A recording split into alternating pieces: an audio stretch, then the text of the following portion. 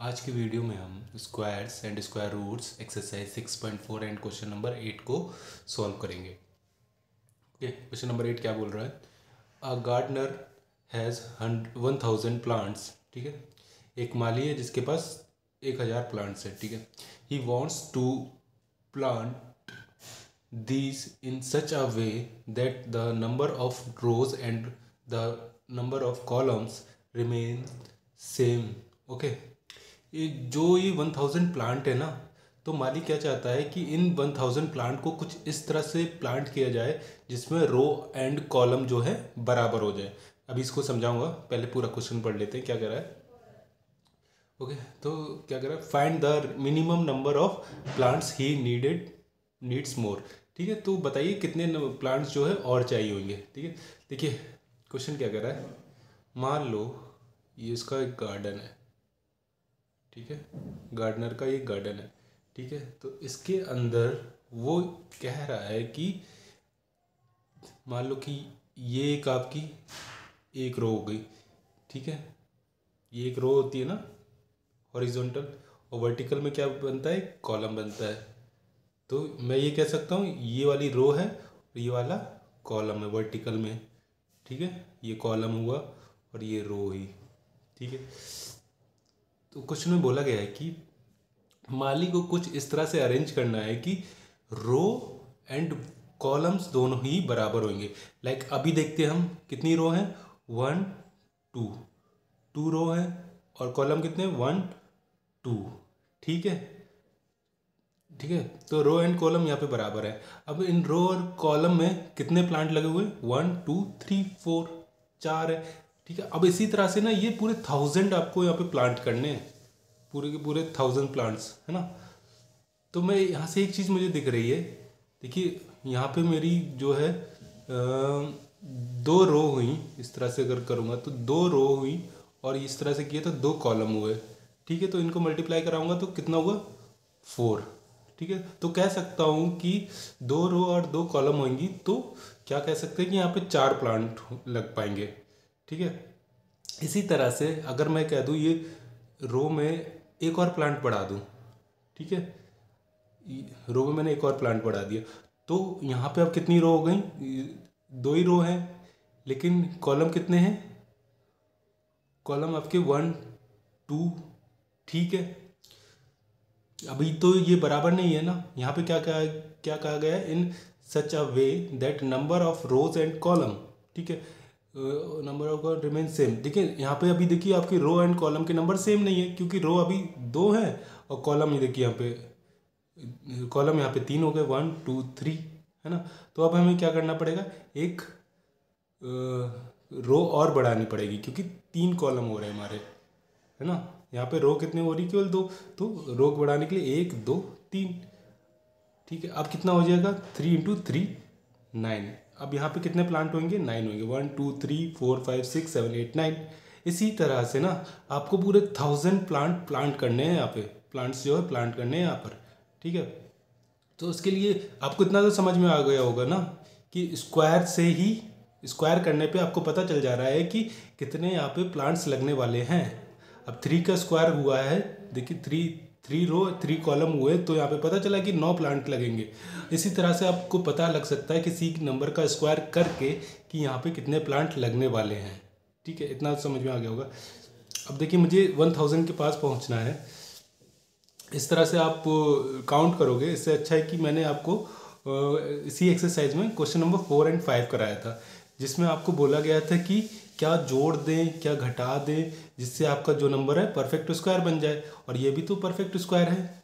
देखिए, कुछ भी हो जाए यहाँ पे, जितनी रो उतनी कॉलम मतलब सेम नंबर सेम नंबर मतलब कुछ भी हो सकता है। यहाँ पे आठ रो आठ कॉलम सेम नंबर ये एक परफेक्ट स्क्वायर है है ना? एट एट से सिक्सटी फोर इसी तरह से तो होना ही है। हंड्रेड परसेंट इसी तरह से होगा, क्योंकि same number and same column है। है कि नहीं? तो यहाँ पे हमें ये पता चल गया, यहाँ पे परफेक्ट स्क्वायर बन रहा है। परफेक्ट स्क्वायर बन रहा है तो अब आपको यहाँ पे क्या निकालना है? कितने नंबर जोड़ देने? ठीक है, अब पहले तो हमें वन थाउज़ेंड को परफेक्ट स्क्वायर बनाना पड़ेगा। और ये साफ़ साफ़ इस क्वेश्चन में बोला भी गया है कि नीड मोर ओके इसमें क्या जोड़ दें? जिससे ये हमारे दोनों बराबर हो जाए row and column row and column बराबर होने के मतलब है कि वन थाउज़ेंड को आपको परफेक्ट स्क्वायर बनाना ही पड़ेगा। बस क्वेश्चन यहाँ पे ख़त्म हो गया, इतना समझने का। इसके लिए हमने क्या किया था? डिवीज़न मेथड यूज़ किया था। अगर आपको नहीं समझ में आ रहा होगा तो question number four and five देखिएगा, कि वहाँ पे मैंने बताया था कि डिवीज़न मेथड यूज़ करते हैं तो वहाँ पर आपको एडिशन या फिर सब्ट्रैक्शन करना पड़ता है। और एलसीएम में क्या करना पड़ता है? मल्टीप्लाई या फिर डिवाइड ओके चलिए, यहाँ पे स्टार्ट करते हैं। तो सबसे पहले टेन थ्री थ्री का स्क्वायर जो है टेन से कम भी है। ठीक है? टेन से कम है थ्री का स्क्वायर तो हम थ्री के स्क्वायर को यहाँ पे कंसाइडर करेंगे। ये पीछे से दो कॉलम वो क्या कहते हैं पेयर बनते हुए आ रहे थे। टेन में से नाइन गया वन और ये हंड्रेड यहाँ पे प्लस करेंगे तो सिक्स आ जाएगा, यहाँ पे स्पेस छोड़ेंगे अब देखिए सिक्सटी अगर यहाँ पे सिक्सटी होता ज़ीरो मान ले तो सिक्सटी वन जा सिक्सटी अगर यहाँ पे वन मान ले सिक्सटी वन जा सिक्सटी वन तो ये इससे कम हो जाएगा। ये तो दिख रहा है हंड्रेड से ऑब्वियसली दिख रहा है ना। तो हम वन टाइम ही ले लेते हैं। ओके। अब कितना आ जाएगा यहाँ पे? थर्टी नाइन आ जाएगा। ठीक है। अब देखिए यहाँ पर ना अगर यहाँ पर आ, मैं कहता अभी तो यहाँ पे कम है ठीक है? अगर यहाँ पे अब ये बोला जाए कि सिक्सटी वन में हम क्या जोड़ दें है ना? क्या जोड़ दें कि ये जो आपका वन हंड्रेड बन जाए तो वन हंड्रेड तो नहीं बन सकता। लेकिन हम जो है, थोड़ा आगे तो चले जाएँगे टू टाइम पढ़ेंगे तो है ना? तो यहाँ पे अगर हम टू टाइम पढ़ें सेम टू सेम सारी चीज़ें वही हैं। ओके ये टू हो जाएगा। यहाँ पे अगर हम, ये मैं कह रहा था यहाँ पे अगर मैं टू टाइम पढ़ लूँ टेबल इस मतलब यहाँ पे टू रखा टू से ही मल्टीप्लाई किया two two the four two six twelve तो ट्वेंटी फोर हो जाएगा ये टू रखने पर तो वन ट्वेंटी फोर ठीक है? अब ये आगे चला गया। तो यहाँ पे पहले क्या हो रहा था कि यहाँ पे क्या जोड़ दे? अब यहाँ पे तो लेकिन और ज़्यादा ही आगे चला गया। तो इसका मतलब है कि अब हंड्रेड में हम ऐसा क्या जोड़ दें कि इसके बराबर आ जाए? और यही पूछा गया है कि क्या जोड़ दे इस नंबर में वन थाउज़ेंड में? तो हमें ये पता चला है कि वन थाउज़ेंड में अगर हम ट्वेंटी फोर और जोड़ देंगे तो यहाँ पे वो ट्वेंटी फोर आ जाएगा, तब यहाँ ज़ीरो हो जाएगा, तब ये परफेक्ट स्क्वायर बन जाएगा।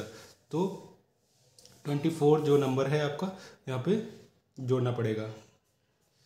और देखिए, अब देखिए एडिशन के बाद क्या आएगा result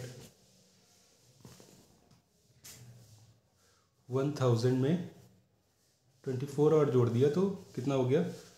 one thousand twenty four हुआ। ठीक है। अब फिर से वही सारी चीज़ें सा, सेम रहेंगी।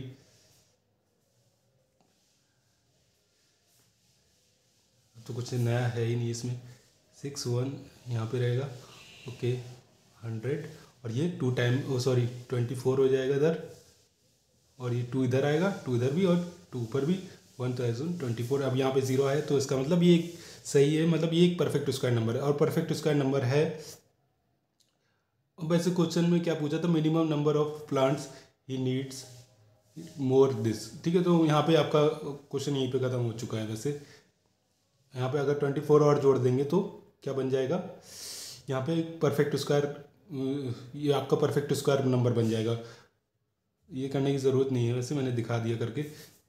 यहाँ पे आपको ट्वेंटी फोर और जोड़ना पड़ेगा। यहीं पे आपका आंसर खत्म हो चुका है वैसे तो। मैंने आपको थोड़ा एक्स्ट्रा इसलिए समझा दिया कि और अच्छे से समझ में आ जाए कि हाँ ये परफेक्ट स्क्वायर नंबर है। यहाँ पे इसका स्क्वायर रूट भी निकल आया है, ठीक है? यहीं तक है आपका आंसर वैसे। ओके होप सो आपको ये क्वेश्चन अच्छे से समझ में आया होगा। अगर आपको क्वेश्चन अच्छे से समझ में आया तो प्लीज़ मेरे चैनल को लाइक एंड सब्सक्राइब करना। बिल्कुल ना भूलें। Thank you so much